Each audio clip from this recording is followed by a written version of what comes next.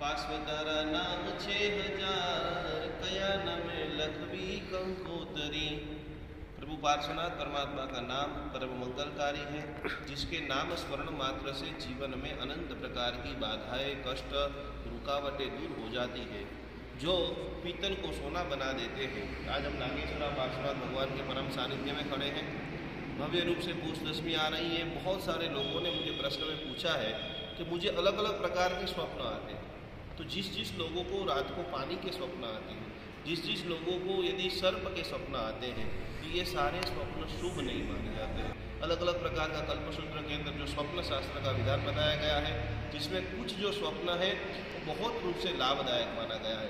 कुछ स्वप्न जैसे ही आते हैं थोड़ी सी आपको सावधानी रखनी पड़ेगी और कुछ स्वप्न नेगेटिव घटना के आपको संकेत होते हैं। जो आप सोचते हो, वही चीज़ें स्वप्न के अंदर आती है। तो जिसकी कुंडली में कालसर्प योग है पितृ दोष है नक्षत्र दोष है विष योग है सर्प संबंधी कोई भी तकलीफ़ है उनके लिए बहुत बेहतरीन समय ये पूछ दशमी की आ रही है। ज़्यादा से ज़्यादा पार्श्वनाथ भगवान की आप आराधना करें। पार्श्वनाथ भगवान को गुलाब जल का अभिषेक, तीर्थ जल का अभिषेक, अष्टगंध का अभिषेक, सोने का बरग का अभिषेक, अखंड धारा से करते रहिए। वो सकरम का, पाँच गाथा का वो सकरम।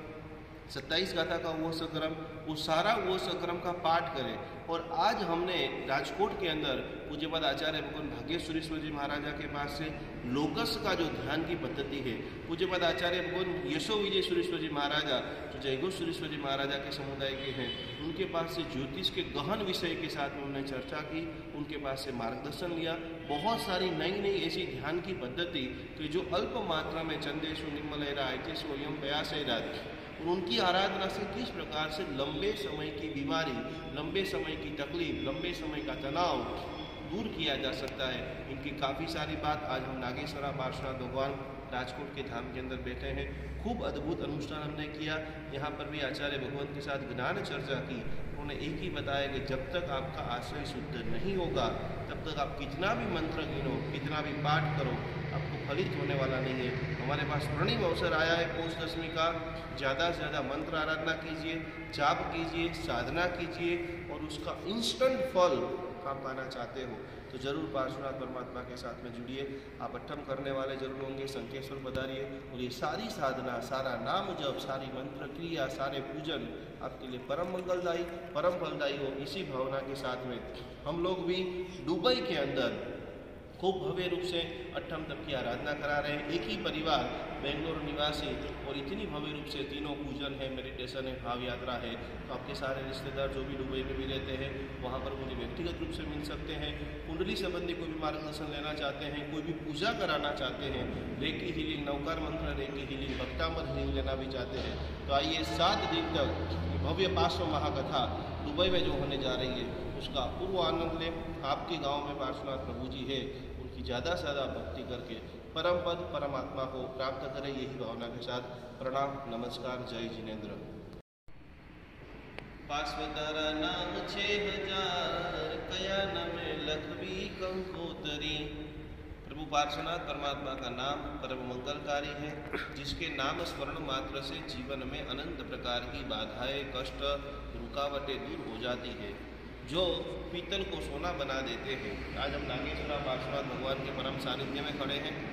भव्य रूप से पूछ आ रही है। बहुत सारे लोगों ने मुझे प्रश्न में पूछा है कि मुझे अलग अलग प्रकार के स्वप्न आते हैं। तो जिस जिस लोगों को रात को पानी के स्वप्न आते हैं जिस जिस लोगों को यदि सर्प के स्वप्न आते हैं तो ये सारे स्वप्न शुभ नहीं माने जाते हैं। अलग अलग प्रकार का कल्पसूत्र के अंदर जो स्वप्न शास्त्र का विधान बताया गया है जिसमें कुछ जो स्वप्न है वो बहुत रूप से लाभदायक माना गया है।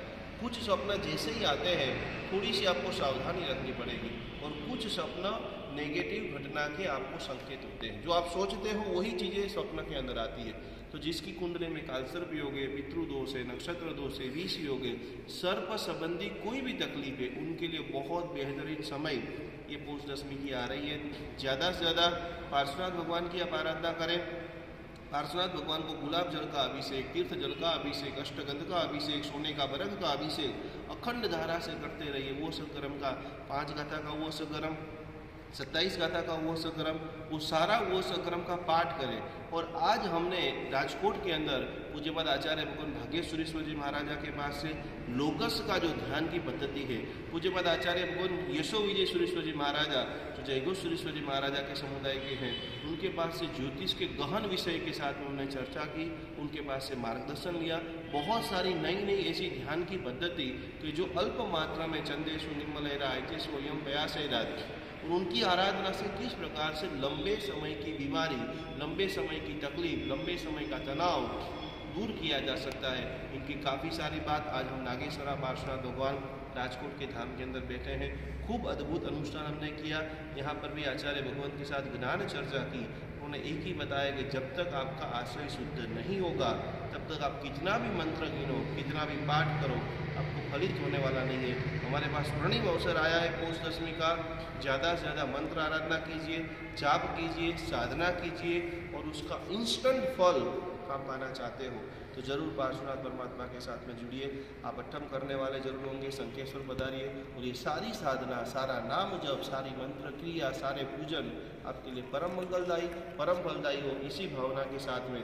हम लोग भी दुबई के अंदर खूब भव्य रूप से अट्ठम तप की आराधना करा रहे हैं। एक ही परिवार, बेंगलोर निवासी, और इतनी भव्य रूप से तीनों पूजन है मेडिटेशन है, भाव यात्रा है।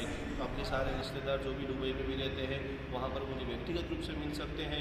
कुंडली संबंधी कोई भी मार्गदर्शन लेना चाहते हैं, कोई भी पूजा कराना चाहते हैं, रेकी हीलिंग, नौकार मंत्र, रेकी हीलिंग भक्तामर हीलिंग लेना भी चाहते हैं। तो आइए सात दिन तक भव्य पार्श्व महाकथा दुबई में जो होने जा रही है, उसका पूर्व आनंद लें। आपके गाँव में पार्श्वनाथ प्रभु जी है, उनकी ज़्यादा से ज़्यादा भक्ति करके परम पद परमात्मा को प्राप्त करें, यही भावना के साथ प्रणाम, नमस्कार, जय जिनेन्द्र।